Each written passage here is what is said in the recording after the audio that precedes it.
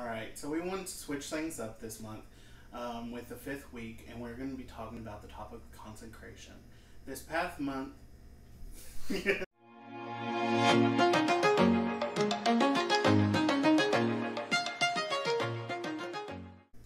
hey guys, my name is Marco. I'm part of Four Winds Ministry. I'm here today with Zach Jones, who's campus director of WKU Chi Alpha. Hi, Hey. Zach. Glad to be here. I'm excited to be a part of this uh, video blog and really excited to get into the topic today. So we decided that we wanted to do something different for Four Winds. We wanted to do something special. This being the fifth week of the month, we're going to be talking about the topic of consecration. So, Zach, what do you feel like consecration means to you? Well, I don't know that it's my personal definition, but definitely a definition that comes to mind uh, right away that we've heard taught, I think, by many reputable people is set apart.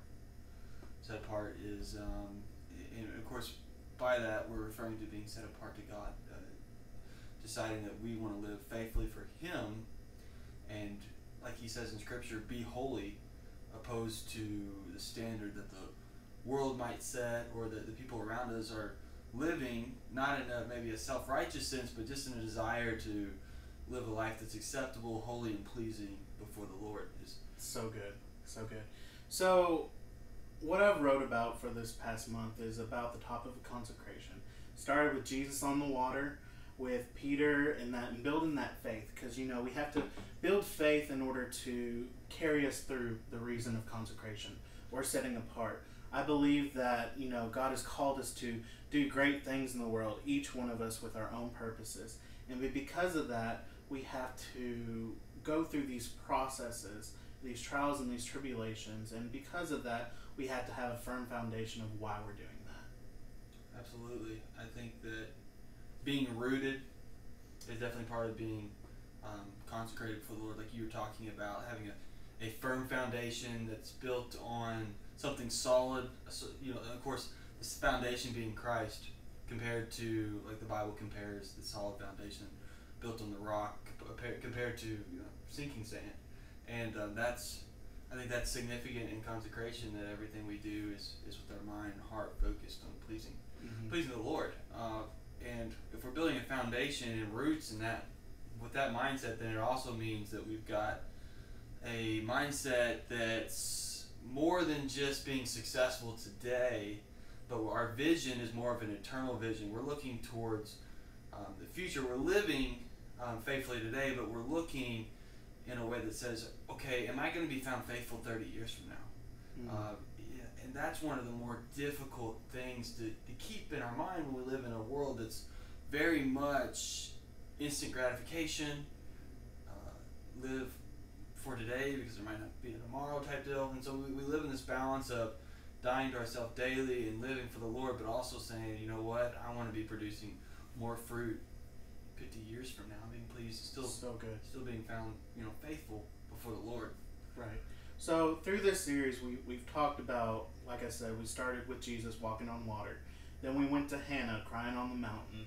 Then we kind of did a little bit of a duo team with Elizabeth and Mary, and we finally ended out with Jesus. Is there any stories that really come to your mind um, about consecration to you?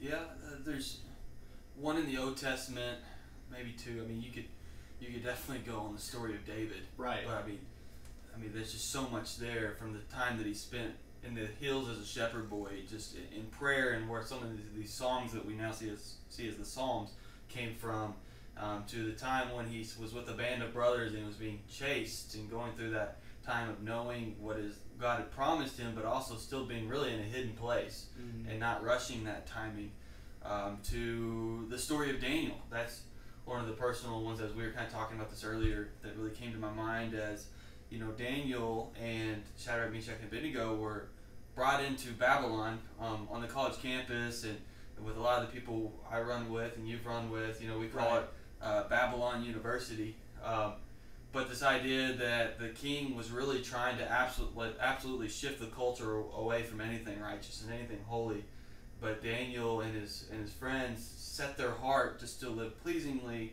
um, before the Lord, and it, and it had a crazy outcome in that the Lord gave them understanding, gave them revelation, and gave them favor as well. Um, but it wasn't from really a self promotion as much as you know what I'm just gonna I'm gonna live for the Lord regardless of who else does. Um, Right. You know, and that's those are two Bible stories that come to mind um, off the top of my head. Now, I also think of in the New Testament where we see Luke 18, the scripture where Jesus asks the disciples, it says, "When the Son of Man returns, will he find any faith on the earth?" Um, and that one resonates with me a lot because of my earlier, earlier comment about uh, being found faithful 30, 40, 50 years from now. Because Jesus didn't ask that because he really needed an answer. He asked it because of rhetorical. He was asking us, "Are we going to posture our heart Right. to be found faithful?" And really, being and being found faithful means consecrating ourselves, setting ourselves apart to the Lord. Um, at least in part, and partially, what being found faithful would mean.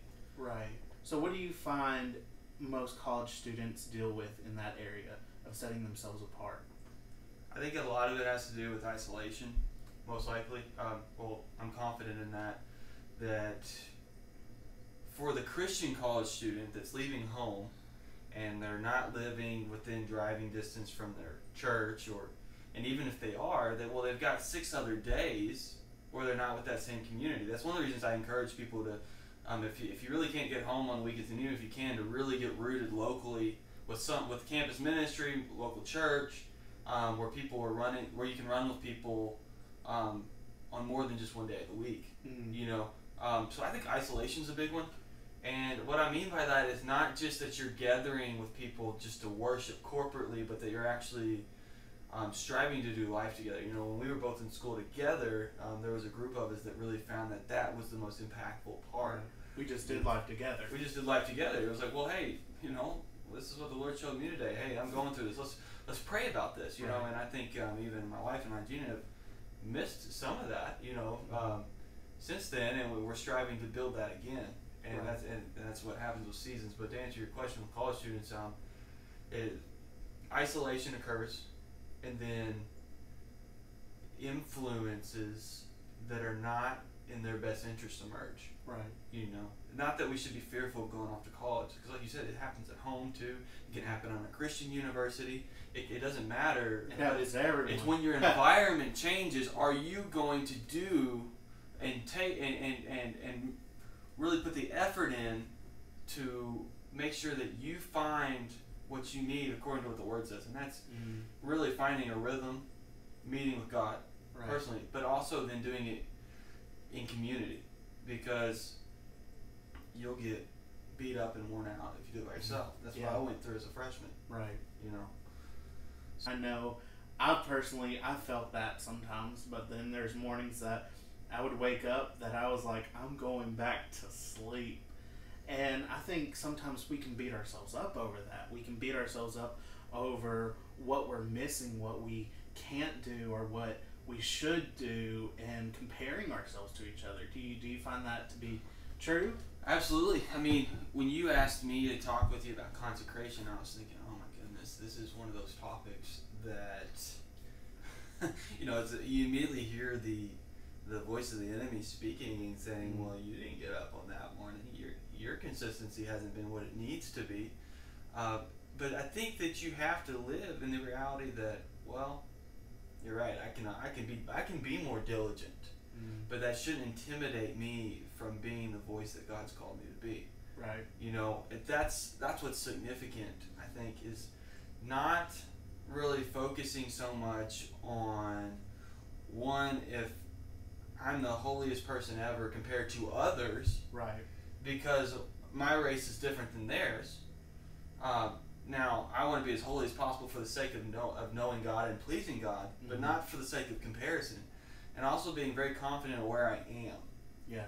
And what I mean by that is where I am in God's plan for me, um, in God's plan for my wife and I, in our ministry, and being very comfortable in like the fruit that we're seeing this season or the fruit that we're not seeing in this season, Mm-hmm. as long as we're doing what's right um, ourselves, and that's setting ourselves apart to the Lord and living, you know, um, in covenantal or just Christ-like community together. You know, know, there's that aspect of it too. Is we're choosing every day to separate ourselves for the Lord, and that in our private time, in that in that quiet place where we're getting alone with God, we're hearing His voice, and we're becoming one. We're we're getting that relationship that He truly desires for us. Uh, you know, in those intimidating moments, it, it can be scary to then have, talk about something like this. But I, what I want to encourage anyone that listens, and you know, Right. just even encouraging myself and you as we're talking about this, is one of the most important things I ever learned is if, for say, I, for example, I miss a day, I just I oversleep and I don't have any time with the Lord. Mm. Not that I'm encouraging that by any means, but it happens. If I were to stand here and say, "Oh yeah, I, I'm," you know, for the last five years I've mi- never missed a day, I would be lying. You know, right. um, or if I just said it was just one or two days for that matter, that much, like you know, there's just those times. Whereas I'm working on living out diligence and consistency, um, I'm still working through wrinkles.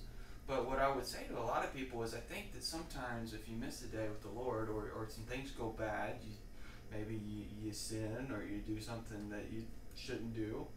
Um, I, I think a lot of times we feel like, oh well, we're back at ground zero. We're, we're Right. restarting.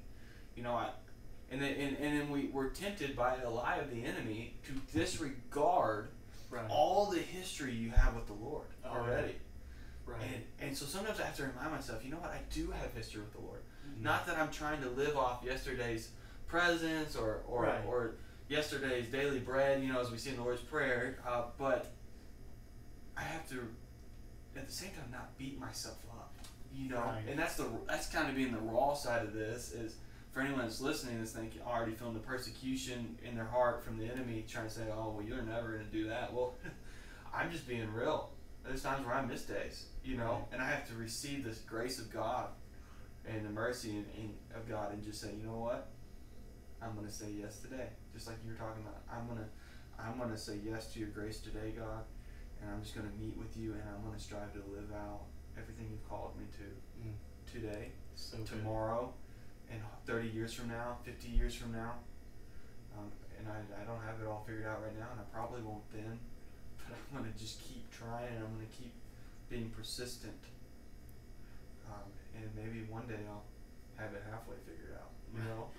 Right. You know, the scriptures talk about how it's basically like a race. Multiple times through the scriptures, we, we get these verses that say, you're going to finish, you're going to run, you're, you know, and I think that's a beautiful picture of not going back because when you're at a race and you're halfway through maybe like a 5K, you could go back, but more than likely you're going to keep going forward because eventually you're going to go back around. I love what you're talking about, you know, about that feeling of persecution almost and and and loneliness and downheartedness that you can um, just kind of creeps up on you, you know.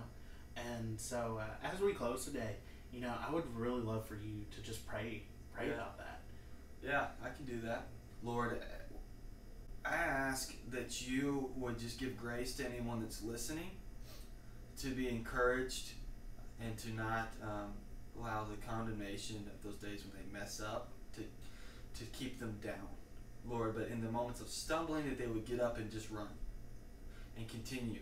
Lord, I pray for a 50 and 60 and 70 year vision and, etern- and truly an eternal vision uh, mindset to, to just fall on hearts and minds that they're living to be found faithful before you uh, today, tomorrow, and when we come, when, we get to meet you.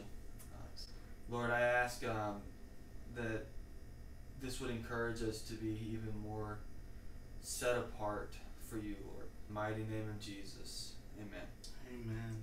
So I just want to leave you guys off with this small, small note: is that separating yourself for the Lord isn't easy. It, it's not going to be easy, but it's going to be worth it. And sometimes you just have to start. You know, by making those small decisions. I'm not going to talk bad about myself. I'm not going to cuss. It's it's the small things that make the difference. I'm gonna go to church even though I'm tired. Right. I'm gonna go to a small group. And so, with that, if you've enjoyed Zach, um, follow him on social media. He has a blog as well called uh, A fire that keeps Fire on. That Keeps. And uh, I know you've posted a couple of things, and I know that's still growing and, Yeah. and going. And uh, we look forward to doing this again. Yeah, this was fun. All right. This is awesome. Thanks, guys.